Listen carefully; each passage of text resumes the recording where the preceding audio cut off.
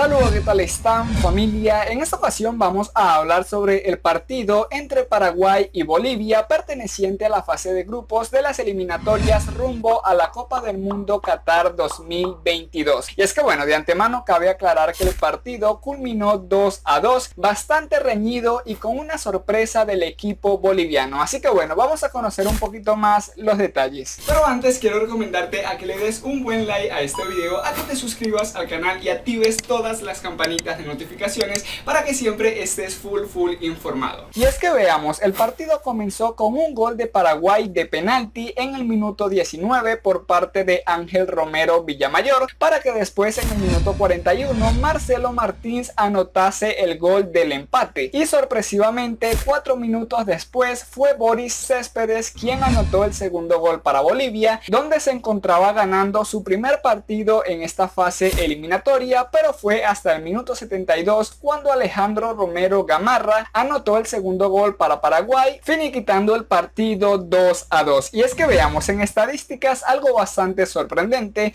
es que Paraguay tuvo el 77% de posesión. Prácticamente el equipo boliviano ni jugó y aún así le estaban venciendo hasta el minuto 72. 18 remates por parte de Paraguay teniendo 5 remates al arco, 7 remates por parte de Bolivia teniendo 2 remates al arco. De verdad que este partido sorprendió muchísimo porque Bolivia iba en ventaja iba en ventaja Bolivia. Con este resultado Bolivia suma su primer punto y Paraguay suma otro punto teniendo ya 6 puntos en total, permaneciendo en el cuarto lugar Paraguay y en el último lugar Bolivia con un punto en total. Así que bueno, esperemos a ver los próximos resultados.